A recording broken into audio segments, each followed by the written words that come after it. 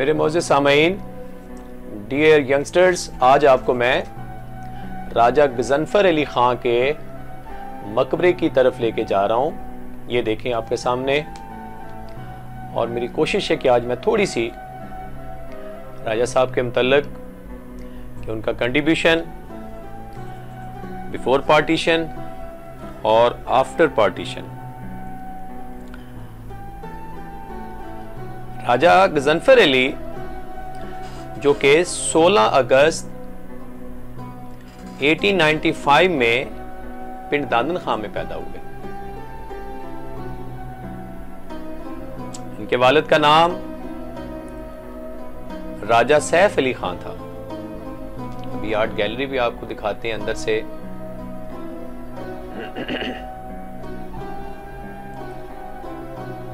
इनके अंकल पीर फजल शाह साहब थे, जिनकी बेटी के साथ इनकी शादी हुई।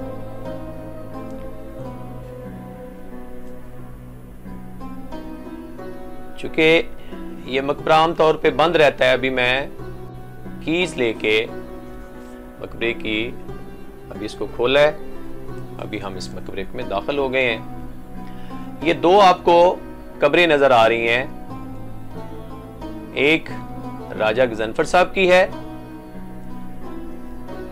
जिन्होंने अर्ली एजुकेशन अपने पिंड दानो खां में हासिल की और फिर हायर एजुकेशन के लिए लाहौर, जीसी लाहौर चले गए।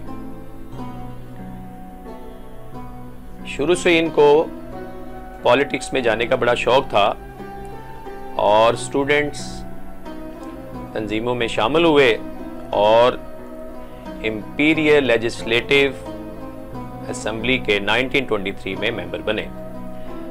ये सात वाली जो खबर है, ये दादन खान साहब हैं, जिनके नाम से पिंड दादन खान बना। दोनों बड़ी अजीम शख्सियतें हैं। सबसे पहले ये जो ऊपर तस्वीर है, ये राजा ज़फ़र साहब की है। मोहम्मद खान जनेजो जो उस वक़्त के प्राइम मिनिस्टर थे, उन्होंने ये अफ्ताह किया और इसको रेनोवेट किया। नज़र हुसैन गोंदल साहब, जो एमपी हैं, ये उनकी क्वेश्चन से आज आपको ये मकबरे में, ये जो थोड़ी सी रेनोवेशन नज़र आ रही है। बहरहाल अंदर डस्ट बहुत थी प्रॉपर मेंटेन नहीं हो सका। तो ये राजा साहब फिर बाद में ऑल इंडिया मुस्लिम लीग में शामिल हो गए। 1937 से लेकर 1945 तक। Secretary of government of Punjab department revenue and irrigation department Quaid Azam से जब मुलाकात हुई मुस्लिम लीग के इजलास में तो कायद आज़म ने इनको मुस्लिम लीग ज्वाइन करने का कहा। और फिर ये बहुत एक्टिव मेंबर बने। कायद आज़म ने जब 1946 में वो पाँच अफराद सिलेक्ट किए, जो अभी पार्टीशन से पहले गवर्नमेंट ऑफ़ इंडिया में जब पाँच लोग जो सिलेक्ट किए, जो नॉमिनेट थे, उनमें राजा जनफर साहब भी हैं। बाकी चार लोगों में लियाकत अली खान आई आई चंद्रीगढ़, अब्दुलरब निश्तर और जोगेंद्र नाथ तो ये बहुत बड़ा कंट्रीब्यूशन है। हमारे पास एक बड़ी अजीम शख्सियत मतफन है, लेकिन मेरे बहुत सारे नौजवान बिल्कुल बेखबर हैं। फिर मैं बताऊँ कि जब पाकिस्तान वजूद में आ गया 1948 से लेकर 1957 तक राजा साहब डिप्लोमेट के तौर पे भी सबसे पहले ये एम्बेसडर टू ईरान 1948 टू 1952 तक रहे, फिर एम्बेसडर टू टर्की 1952 टू 1953 तक रहे कमिश्नर टू इंडिया 1954 से 1956 तक रहे एम्बेसडर टू इटली 1956 से 1957 तक रहे। और चूँकि इनकी अभी बरसी बिल्कुल करीब है तो ये 17 अप्रैल 1963 को इस जहाँ फानी से रुखसत फरमा गए। तो ये छोटी सी हिस्ट्री मैंने कोशिश की है राजा साहब की आपके सामने पेश करूँ ताकि मेरे नौजवान उनको पता हो कि हमारी जो लीडर्स हैं, उनकी कंट्रीब्यूशन क्या है और वो कहाँ कहाँ मदफन है। और एक बाबा जी से दीन मोहम्मद साहब के साथ मैं अभी इंटरव्यू करने जा रहा हूँ। बहुत अजीम शख्सियत हैं। इनके मतलब आपने कोई बात नहीं की। तो मैंने कहा ज़रूर बेटा मैं तो बल्कि मेरे तो पास हूँ मेरे सत्रह अठारह साल हो गए यहाँ पे। तो वो फिर ऐसे बात चलते चलते निसार साहब को मैंने पूछा मैंने कहा राजा जनफर साहब के ऊपर मैं थोड़ी सी रिपोर्ट अगर बनाऊँ तो मुझे कौन गाइड करेगा?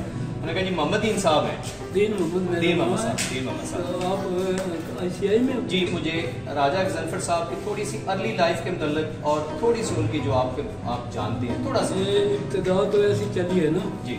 कि मैं बचपन से ही हकीम रशीद खान साहब के पास इनके पास ही रहता था। जी जी। तो ये राजा साहब और ये राजा सतार खान सर। ये सारे के सारे यहाँ पर बैठते थे अच्छा। तो ख्वाजा नाजुद्दीन साहब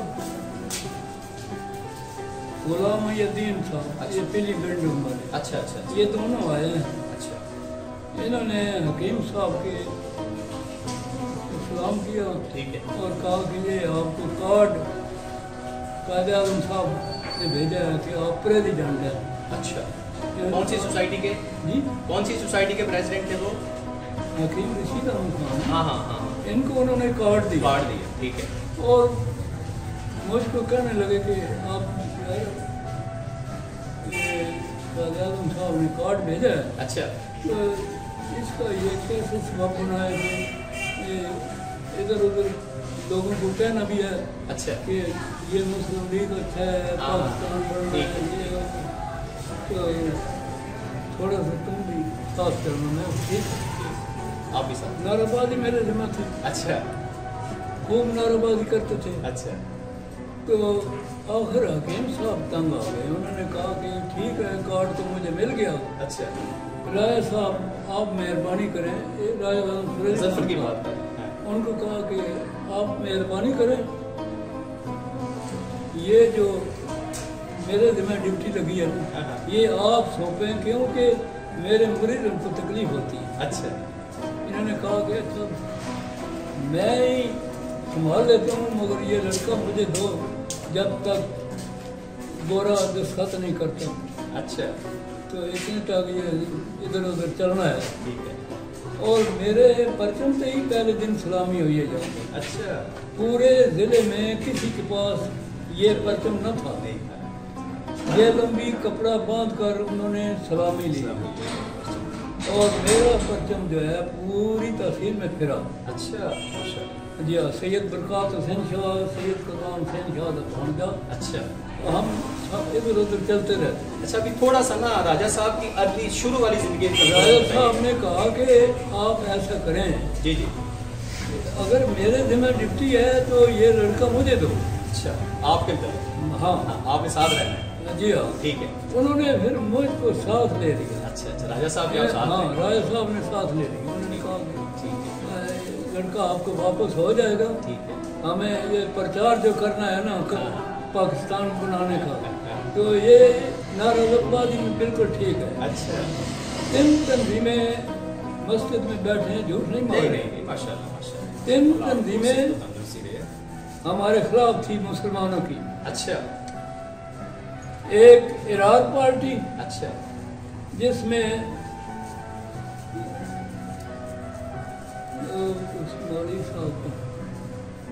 अताउल्ला शाह बुखारी। अच्छा। वो हमारा मुखालफ था। अच्छा। इरार पार्टी। अच्छा। और एक अबू आज़ाद जो इंडिया में ही रहा। ये दोनों का एक मकसद था। अच्छा अच्छा। वो खिलाफ रहे हैं। हाँ। ठीक है। एक खाकसार पार्टी जो बेलचा पार्टी इसको कहते थे वो हर वक्त अंग्रेज़ों के खिलाफ जिन्होंने वो लाहौर में तहरीक भी चलाई थी उनके हाँ, खिलाफ गोली भी चली थी। गोली भी चली। तारीफ़ चली है। ठीक है। और इसके कायदे गए थे मिलने? एक पार्टी यूनस पार्टी अच्छा। जिसके साथ फिर रिजात अच्छा। फिरोज खान नून अच्छा। अब सोच लो कि ये तीन पार्टियाँ इनको मैं क्रॉस करता है। तीन बजे दोपहर बाद। कादे आज़म साहब ने फरमाया कि आप आपको ये आखिरी मौका दे रहा हूँ। वरना ये इंडिया ही रहेगा। अगर तुम हमारा साथ दो, मैं एक तंजीम खड़ी कर रहा हूँ, जिसका नाम है मुस्लिम लीग। तमाम इस लीग पर खड़े हो जाओ। एक सब बन जाओ, ऐसी सब बनो कि जैसे दीवारें चीन है। तब ये आपको मुल्क मिल जाएगा। तमाम लोगों ने लब्बैक। उस वक्त जब यहाँ हमें खबर पहुँची तो हम, मैंने एक शेर तैयार किया। कादे आज़म की तकरीर में धुआँ मचाइया, भाग्या जैनियों के वास्ते हुई दुश्वारियाँ। बम्बे बिचो शेर करिया लुमड़ी ने दिल्ली में शोर मचाया, ऐसा पाकिस्तान बनाया कादे आज़म का क्या बोलता है? पाकिस्तान पाकिस्तान। मर जाएँगे मिट जाएँगे हम पाकिस्तान बनाएँगे। ये हमारा मिशन था। मैं वैसे एक बात सुन मज़ा आया। ये पाकिस्तान की हिस्ट्री पैगाम दे दिए उसके बाद फिर आपके साथ ये पाकिस्तान की हिस्ट्री मैं एक महीना बोलता रहूँ तो आप घबरा जाएँगे मैं नहीं घबरा। बहुत मुबाद है अच्छा मैं दीन मोहम्मद साहब के पास बहुत मुबाद है। अल्लाह ताला इनको सेहत को तंदुरुस्ती दे। इनके लिए ढेर दुआएँ हैं। और जितनी खिदमत इन्होंने की है और ये अभी तो खैर बड़ा शॉर्ट टाइम में अभी इनके पास बहुत यार आज तो पैसे का दौर है। हर आदमी पैसे पर वैसा वैसा ये कौम का हमने ये नहीं देख लो हमारी। यंगस्टर्स को तभी तो पैगाम देना कोई कहमत कोई पगड़ी। बाबा जी ये जवानों को पैगाम देना है। जी। ਇਹ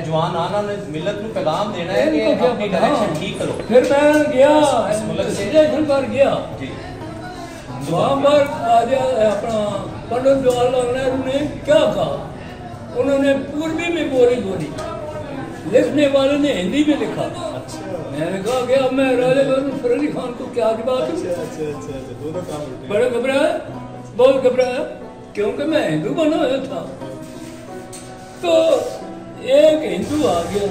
जब गाड़ी तो चली गई गोरा चला रहा था, वो तो उनका राइट टाइम होता था। अंग्रेज़ों का असूल जो है, बड़ा सख्त है। उन्होंने ये तमाम इलाका जीता असूल के साथ। टीपू सुल्तान को शहीद किया।